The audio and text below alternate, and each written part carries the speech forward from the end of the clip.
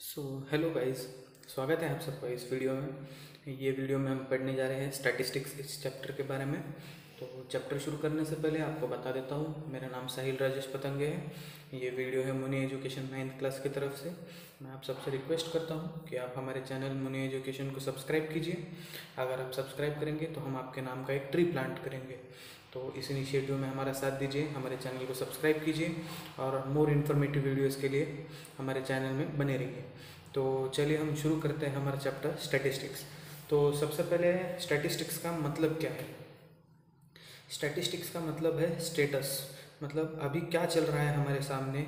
उसकी कितनी क्वांटिटी है या कितनी क्वालिटी है, उसे हम स्टैटिस्टिक कहते हैं। मतलब स्टेटस क्या है हमारे पास गिवन इन्फॉर्मेशन का। तो अभी आप अपने सामने देख सकते हैं, यहाँ पे एक टेबल बनाया गया है, इसमें है वीट और जवार। तो 2010 में कितना प्रोडक्शन हुआ था 2011 में कितना हुआ था और 2012 में कितना हुआ था, ये दोनों का प्रोडक्शन टन के अंदर दिया हुआ है। मतलब वीट जो है वो थर्टी टन हुआ था 2010 में उसका प्रोडक्शन मतलब एक फार्मर है, ये उसकी डिटेल्स है, समझो, ठीक है? तो इसे हमें बार डायग्राम में रिप्रेजेंट करना है। तो हम इसे बार डायग्राम में रिप्रेजेंट कैसे कर सकते हैं? तो सबसे पहले हमारे पास बेसिक वाला है, जिसे हम सीधा, सादा बार डायग्राम कहते हैं। तो इसमें हमने देखो, जो वाइट है पूरा, उसे हमने वीट डिनोट किया है, और जो लाइनिंग के साथ है, उसे हमने जवार कहा है। और वाई एक्सिस की स्केल जो क्या है, एक centimetre is equals to ten quintal अभी देखिए। यहाँ से एक सेंटीमीटर यानी दस कुंटल है, दस क्विंटल है।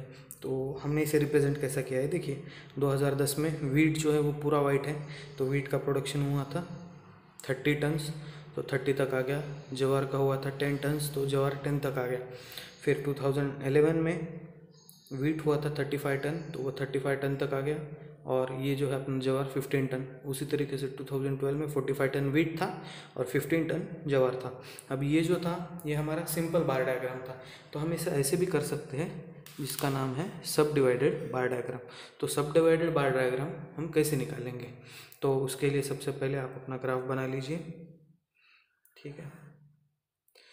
तो ये एक्सिस वो सब सेम रहेगा। वीट का कलर जवार का कलर भी सेम रहेगा। हमारा एक सेंटीमीटर दस कुंटल है।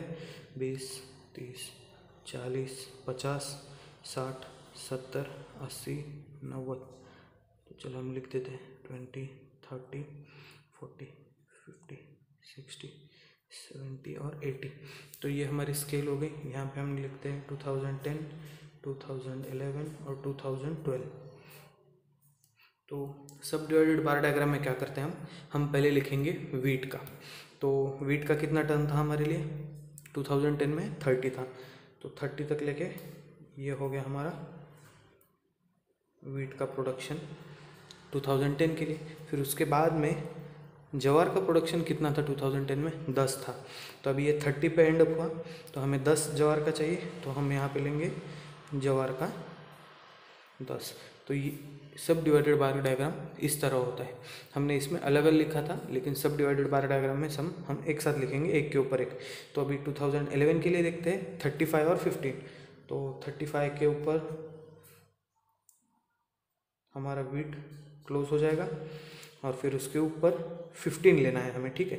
तो 40 तक फाइव आ गया, फिर 50 तक। तो मतलब ये आ गया जवार हमारा यहाँ तक। तो हमारा जवार आ गया यहाँ तक। और अगले केस में देखते हैं फोर्टी फाइव और फिफ्टीन तो हमें फोर्टी फाइव तक लेना है तो फोर्टी फाइव तक यहाँ पे आएगा। ठीक है? फोर्टी फाइव तक आ गया, उसके बाद हमें और फिफ्टीन लेना है यानी सिक्सटी तक। तो सिक्सटी तक आ गया यहाँ पे। हमारा स्केल और रिप्रेजेंटेशन सेम ही रहेगा इसके। लेकिन हम अभी देख सकते हैं, दोनों में फ़र्क क्या है? दोनों को हमने यहाँ पे अलग अलग लिखा था, लेकिन हमने यहाँ पे दोनों को साथ में लिखा है। तो ये जो था हमारा, वो था सब डिवाइडेड बार डायग्राम के लिए। तो इसके बाद और एक आता है रिप्रेजेंटेशन हमारा, वो होता है परसेंटेज बार डायग्राम का। तो उसमें हम कैसा देखते हैं? देखो, अभी हमें लिखना है वीट प्लस जोवार हम परसेंट निकालेंगे। तो 2010 में कितना था? 2011 में और 2012 में। दोनों को मिला के ये था 40 ये था 50 और ये था 60 तो अभी परसेंटेज वीट निकालेंगे सिर्फ़ 2010 में। वीट कितना था? 30 तो 30 बाई फोर्टी इंटू हंड्रेड तो ये कितना आ जाएगा? वीट परसेंटेज ये यहाँ से ये कट गया। फिर थ्री इंटू ट्वेंटी फाइव तो ये आ गया सेवेंटी फाइव परसेंट तो टू थाउज़ेंड टेन में वीट का परसेंट है। थाउज़ेंड एलेवन में वीट का परसेंट क्या आएगा? Thirty five by fifty into hundred fifty two ज़ा थर्टी फाइव टू ज़ा सेवेंटी तो ये आ गया सेवेंटी परसेंट और इसमें कैसा होगा? Forty five by sixty into hundred तो ये कट गया। फिर यहाँ पे थ्री से हम काटेंगे। फिफ्टीन थ्री थ्री ज़ा फोर्टी फाइव और टू बचा टू फाइव ज़ा फिफ्टीन फाइव ज़ा सेवेंटी फाइव परसेंट यहाँ पर भी आ गया वीट का परसेंटेज ठीक है? तो ये बना हमारा वीट का परसेंटेज फिर उसके बाद अभी बचा हुआ जो है, इसमें ट्वेंटी फाइव परसेंट ज्वार होगा थर्टी परसेंट ज्वार होगा और ट्वेंटी फाइव परसेंट फिर से ज्वार हो जाएगा। सही है ना? मतलब आपको अभी सेवेंटी फाइव परसेंट ये हो गया तो थर्टी परसेंट वो हो जाएगा, ठीक है? तो अभी हम इसे ग्राफ में कैसे रिप्रेजेंट करते हैं, देखिए। तो ये हमारे पास ग्राफ है। तो ये स्केल वही रहेगा, उनका रिप्रेजेंटेशन भी सेम रहेगा, लेकिन इस केस में हम क्या करेंगे अभी? टेन से शुरू करेंगे।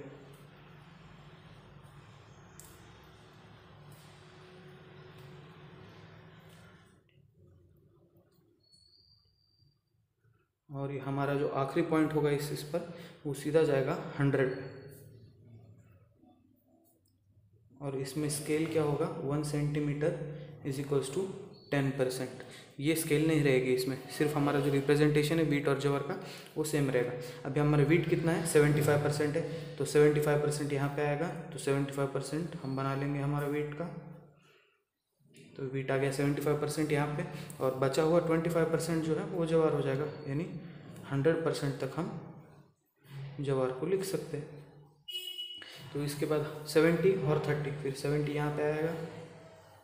आपके पास ग्राफ होगा तो आपको आसान जाएगा बनाने में और फिर बचा हुआ थर्टी परसेंट जो है वो हमारे जवार का है। तो देखिए यहाँ पे ये बन गया। फिर इसके बाद 2011 में 75 और 25 तो 75 यहाँ तक आएगा। हम इसे बना लेंगे। ये बन गया 75 परसेंट और 100 तक बचा हुआ 25 तो इस तरह से यहाँ पे वीट आ गया। नहीं सॉरी ये जवार है ऊपर का और नीचे का वीट तो ये हमने रिप्रेजेंट किया है परसेंटेज के फॉर्म में। ठीक है, मेरे पास स्केल नहीं थी, लेकिन आप समझ लीजिएगा ये कि स्ट्रेट लाइन से, ऐसा अलग अलग नहीं बनाना, आपके पास तो स्केल होगी। तो चलिए, फिर ये जो था हमारा सब था स्टेटिस्टिक्स बार डायग्राम के रूप में। मतलब हमारे पास गिवन डेटा है, उसे हमें बार बार डायग्राम में रिप्रेजेंट करना है, ठीक है? तो इसके बाद हमें देखना है स्टेटिस्टिक्स क्या था। हमने देखा था कि स्टेटस ऑफ़ डेटा तो डेटा क्या होता है? डेटा यानी इन्फॉर्मेशन किसी चीज़ के बारे में। तो समझो मतलब किसी क्लास में कितने स्टूडेंट पास हुए, उन्होंने कितने मार्क्स लिए। ये सब होते हैं डेटा के फॉर्म में। तो अभी डेटा जो है वो दो टाइप के होते हैं, वो है प्राइमरी डेटा और सेकेंडरी डेटा अब प्राइमरी डेटा में क्या होता है फ़ायदा? मतलब प्राइमरी डेटा का फ़ायदा भी है और नुकसान भी है। प्राइमरी डेटा को जमा करने में बहुत टाइम लगता है और लेकिन वो पूरा डिटेल्ड इन्फॉर्मेशन रहता है। और वो हमेशा करेक्ट और रिलायबल रहता है। मतलब हम उसे हमेशा यूज़ कर सकते हैं, उससे हमें सही आउटपुट मिलेगा। और सेकेंडरी डेटा जो होता है ना, उसमें ये होता है कि वो जल्दी मिल जाता है, लेकिन वो उतना काम का नहीं होता जितना प्राइमरी डेटा है। मतलब हम उसे हमेशा यूज़ करेंगे, ऐसा नहीं हो सकता। और वो थोड़ा सा कलेक्टेड डेटा है तो अप टू डेट नहीं रहेगा। मतलब अपडेटेड नहीं रहेगा। हम बीच में कभी उठा सकते हैं कभी। तो ज़्यादा रिलायबल और करेक्ट जो है वो प्राइमरी डेटा है, बस उसे हमें कलेक्ट करने में ज़्यादा टाइम लग जाएगा। तो अभी डेटा कलेक्शन के बाद हमें डेटा को फ्रीक्वेंसी में डिवाइड करना पड़ता है। अब सब फ्रीक्वेंसी क्या होती है देखिए।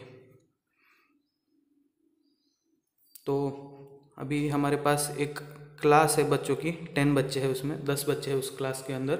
तो उस क्लास में हम उनकी हाइट चेक कर रहे हैं, ठीक है? तो कोई है फाइव फीट का, कोई है फोर पॉइंट फाइव फीट का, फिर एक बच्चा है फाइव का, फिर एक है सिक्स का, एक फोर पॉइंट फाइव का, फिर एक है फाइव पॉइंट सेवन का, फिर एक है सिक्स पॉइंट टू का, फिर फाइव पॉइंट फाइव, फिर फोर पॉइंट नाइन। और एक आखिर में ले लेंगे हम फाइव पॉइंट टू का। तो ये जो है, ये दस बच्चों की हाइट से फीट के अंदर, ठीक है? हाइट इन फीट ठीक है? तो हमारे पास ये डेटा आ गया इस तरह से। अभी हमें फ्रीक्वेंसी निकालनी है तो फ्रीक्वेंसी कैसे? अब हम यहाँ पे लिखेंगे क्लास और यहाँ पे फ्रीक्वेंसी अब ये क्लास ये क्लास नहीं है। चलो हम इसे एक इसे ऐसा लेते हैं ग्रुप है समझो। ग्रुप ऑफ़ टेन स्टूडेंट्स ले लेते ये क्लास मतलब क्या होता है यहाँ पे? हमने इसको जिस बेसिस के ऊपर डिवाइड किया है तो यहाँ पे क्लास क्या है? हाइट हो जाएगी। ठीक है? और फ्रीक्वेंसी है, उस हाइट का बच्चा कितनी बार है? तो अभी सबसे लो वाला इसमें से कौन सा है? देखिए, सबसे लो है फोर पॉइंट फाइव ठीक है? फिर उसके बाद में देखिए फोर पॉइंट फाइव के बाद आएगा फोर पॉइंट नाइन, फिर फोर पॉइंट नाइन के बाद आएगा फाइव, फिर फाइव के बाद आएगा फाइव पॉइंट टू, फिर फाइव पॉइंट फाइव, फिर आएगा सिक्स और आखिर में सिक्स पॉइंट टू। तो ये हमारे पास डिफरेंट डिफरेंट क्लास के हाइट डिफरेंट आ गए। तो फोर पॉइंट फाइव वाले कितने बच्चे हैं हमारे पास? ये एक और ये दो। तो उसकी फ्रीक्वेंसी हो गई दो। फोर पॉइंट नाइन वाला एक ही है तो उसकी फ्रीक्वेंसी एक। फिर उसके बाद फाइव वाला देखिए, एक, दो तो फाइव की हो गई दो, फिर उसके बाद five point two, five point two वाला ये रहा, फाइव पॉइंट टू वाला, एक है, और यहाँ पे फाइव पॉइंट सेवन हमने मिस किया है तो फाइव पॉइंट सेवन यहाँ डाल देंगे सिक्स यहाँ पे, ठीक है? तो फाइव पॉइंट फाइव वाला भी एक ही है, फाइव पॉइंट सेवन वाला भी एक ही है सिक्स एक है, और सिक्स पॉइंट टू वाला एक है तो इन सब की सम जो अगर करेंगे तो sum of frequency equals to total number of observations आ जाएगा अपने पास तो ये इक्वल्स टू टेन रहेंगे ठीक है? तो फ्रीक्वेंसी यानी उसका काउंट कितनी बार आया? तो हमें अभी फ्रीक्वेंसी को डिस्ट्रीब्यूट करना है तो हम फ्रीक्वेंसी को डिस्ट्रीब्यूट कैसे कैसे कर सकते हैं? तो फ्रीक्वेंसी डिस्ट्रीब्यूट करने के तरीके आपको बताता हूँ मैं। तो डेटा जो होता है हमारा एक तो समझो अभी हम किसी पॉपुलेशन के बारे में बात कर रहे हैं। अभी हमने सिर्फ़ यहाँ पे दस बच्चों की बात की थी लेकिन समझो कहीं हमें ऐसा देखना है कि आ, किसी रैली में कहीं बहुत सारे, बहुत बड़ा पॉपुलेशन है, समझो लाखों लोग हैं और हमें उन लाखों लोगों की हाइट देखनी है। तो उस टाइम पे हमें ऐसा हर एक हर एक हाइट का नहीं ले सकते, क्योंकि एक फीट के अंदर 12 इंच होते हैं तो फोर से लेके फाइव फाइव तक 12 आ जाएँगे नंबर्स तो ऐसा बहुत सारा डेटा अपने पास कलेक्ट करना पड़ेगा। तो उसलिए हम क्या करते हैं, उसे हम ग्रुप कर देते हैं डेटा को। तो फ्रीक्वेंसी कैसे होती है फ्रीक्वेंसी ऑफ़ ग्रुप डेटा एक होती है और अनग्रुप डेटा एक होती है, ठीक है? तो ग्रुप डेटा में अभी हमने हाइट का केस देखा था। तो हाइट के केस में हम क्या ले लेंगे? फोर से फाइव फीट ले लेंगे। फिर उसके बाद फाइव फीट से सिक्स फीट किसकी हाइट है? फिर सिक्स फीट से सेवन फीट किसकी हाइट है? तो ये ऐसा ग्रुप डेटा हो जाएगा। ठीक है? तो मतलब ये ग्रुप्ड है। एक मिनट हाँ एग्ज़ाम्पल देख रहा हूँ।